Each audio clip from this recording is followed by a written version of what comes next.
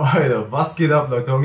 Heute mal wieder mit einer Diskussion, einer Talkrunde über ein Thema, das ich äh, bereits in mehreren Videos angesprochen habe, aber bisher noch keine Zeit und keinen Bock hatte, dieses Video hier zu drehen. Es geht um, also ganz allgemein geht es um Niantic und deren Strategie, aber hauptsächlich geht es um ja, die neuen Shiny Crypto. Auf jeden Fall gibt es ja seit gewisser Zeit jetzt die Rocket Bosse und Giovanni.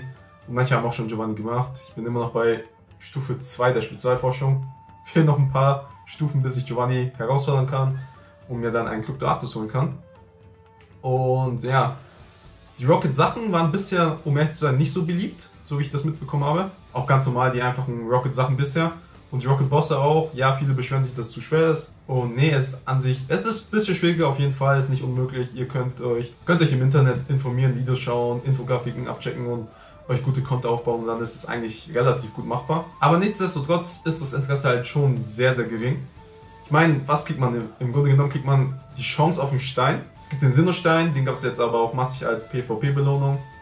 Aber an sich kann man nie genug haben, zumindest ich nicht, weil ich möchte gerne die ganzen Klamurksbonbons, Griffelbonbons, Traumvogelbonbons alle wegentwickeln. Dementsprechend kann ich persönlich nie genug Sinnosteine haben, aber die meisten, die einfach nur einmal äh, jede Sinnoh-Steinentwicklung haben wollen, für die reicht es eigentlich, die haben eigentlich genug von den Steinen.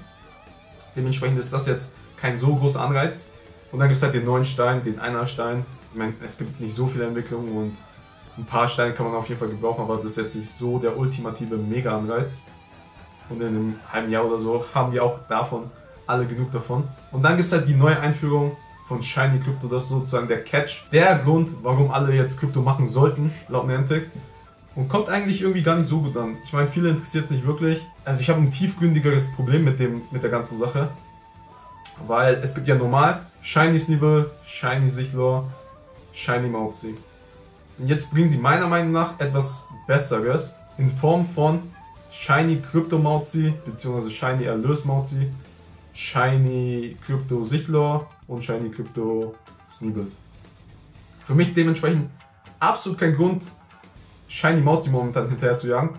Denn an sich will ich nur Shiny Crypto Mauzi oder Shiny Erlös Mauzi. Das geht ja zurück auf dieses ganze äh, stufenweise, das ist ein viel größeres Problem. Ich will diesen Talk eigentlich gar nicht so weit ausweiten. Aber es gibt ja zurück auf dieses erstmal was Schlechtes geben und dann und dann wiederverwerten den Content, indem man etwas Besseres gibt und dann noch vielleicht nochmal wiederverwerten. Weil zum Beispiel jetzt Cobalium. Cobalium ist nicht besonders gut, das Interesse ist nicht besonders hoch.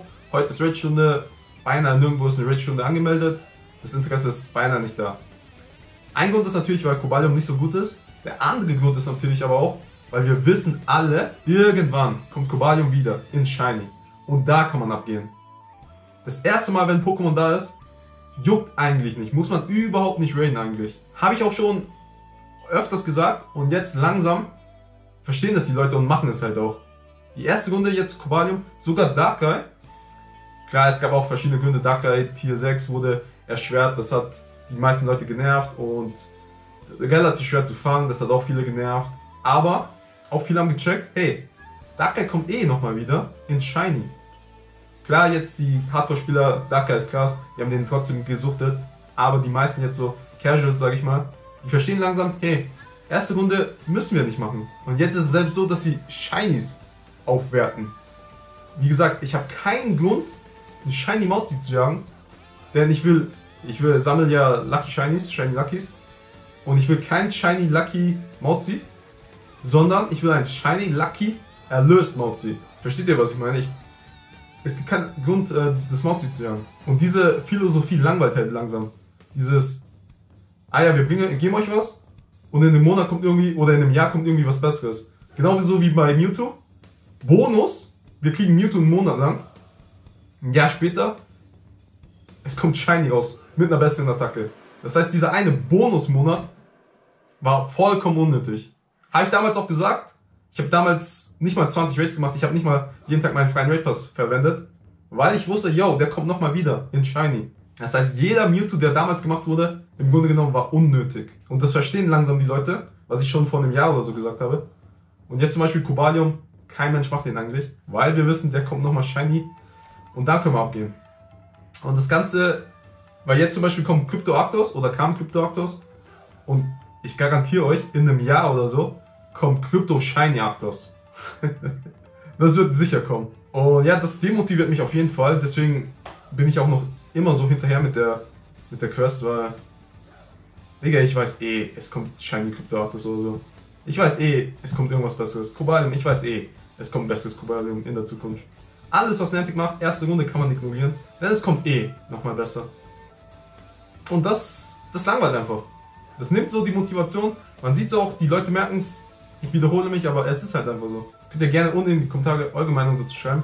Habt ihr diesen Trend auch bemerkt? Langweilt euch das auch, dass Niantic das immer so jetzt macht? Aber jetzt dann nochmal die Shinies upgraden, so dass sogar die Shinies nutzlos sind. Weil wer weiß, in der Zukunft kann ja alles kommen. Wir warten jetzt zum Beispiel, keiner macht äh, Kobalium. Weil Kobalium irgendwann in Shiny kommt. Aber wer sagt denn, wer sagt denn, dass wir Shiny Kobalium in der Zukunft machen, wenn es nicht irgendwann in der Zukunft, Zukunft Shiny Krypto Kobalium gibt? Ich weiß, verrückte Idee, aber nur so der Gedanke. Wisst ihr, was ich meine? Und das ist halt das, was so nervt momentan. Weil jetzt weiß man nicht mal mehr sicher, dass man bei den Shinies abgehen kann oder sollte. Weil vielleicht werden die Shinies auch nochmal geupgradet. Und dann denkt man sich vielleicht, wenn ein Shiny Krypto rauskommt, ja toll, wieso habe ich jetzt dann beim Shiny so viel Geld und Zeit investiert? Stellt euch vor, diesen Monat ging es gut ab mit Shiny Mewtwo. Und stellt euch vor, in einem Jahr gibt es Shiny Crypto Mewtwo. Wie dumm kommen wir uns dann vor? Für alle, die jetzt in diesem Monat so oder in der Woche so viele Mewtwo gejagt haben, wenn es in einem Jahr einfach noch eine bessere Version gibt. Selbes gilt für Rayquaza. Wie krass sind wir abgegangen für Shiny Rayquaza? Stellt euch einfach vor, in einem Jahr Shiny Crypto Rayquaza. Kann passieren, oder? Klar, momentan ist es noch so, dass es halt nur einmal im Monat ist, diese Spezialforschung, aber stellt euch vor, Niantic bringt äh, Radare raus, die man kaufen kann und da kann man dann die ganzen Bosse herausfordern, Giovannis herausfordern und dann die Krypto-Legendären jagen. Es geht auch nicht nur um Krypto-Legendäre. Wie gesagt, Steeble, Mauzi und sowas, Mauzi jetzt vollkommen irrelevant, aber wie gesagt, ich wiederhole mich. Das sind so meine Gedanken momentan. Auch ein bisschen demotivierend, was Niantic so macht. Ich verstehe schon, klar, von der Content-Creator-Seite ist es natürlich genial. Du hast ein Pokémon, du kannst damit das Dreifache an Geld machen zum Beispiel. Einmal bringst du es normal raus, dann bringst du es in Shiny raus, dann bringst du es in Shiny Crypto raus und irgendwann bringst du es in Shiny Crypto mit Hut raus oder was weiß ich. Wisst ihr, was ich meine? Also von dem Aspekt natürlich macht das mega viel Plus für die Firma. Aber für mich, mich langweilt es einfach. Keine Ahnung, Leute. Das waren so meine Gedanken, die mir momentan so im Kopf herumschwören, die ich mit euch teilen wollte. Könnt gerne unten in die Kommentare eure Meinung dazu schreiben und dann bisschen diskutieren über dieses Thema. Ich weiß, das nennt sich Power Creep und das gibt es in vielen, vielen Spielen und das ist eigentlich normal, aber das ist schon demotivierend, wenn man weiß, hey, ein neues Legendäres kommt raus und an sich muss man das gar nicht machen. Oder falls man es macht, dann ist rein theoretisch Geld- und Zeitverschwendung. Wenn man sich so genau überlegt. Klar kann man sagen, hey, was machst du sonst in der Zwischenzeit? Ist halt nur ein Spiel. Aber wenn man wirklich effektiv spielen will, dann sollte man es eigentlich nicht machen. Ja, es macht Spaß, man kann mit den Freunden rausgehen und dies, das und ist halt immer noch Zeitvertreib und klar, ich mache immer noch welche. Aber im Grunde genommen, irgendwo im Hinterkopf ist immer der Gedanke, eigentlich ist es voll Verschwendung, weil wir wissen genau, nächstes Jahr stehen wir hier nochmal und jagen das Shiny.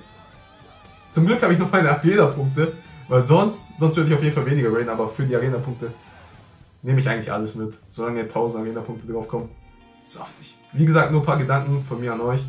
Ansonsten, ihr wisst Bescheid, wie man liken, subscriben, kommentieren. Checkt die anderen Videos ab. Folgt mir auf Instagram, Facebook, Twitter. Checkt den Shop ab. Vergesst nicht, Pokémon ist serious Business. Zumindest das zweite Mal, wenn es zurückkommt.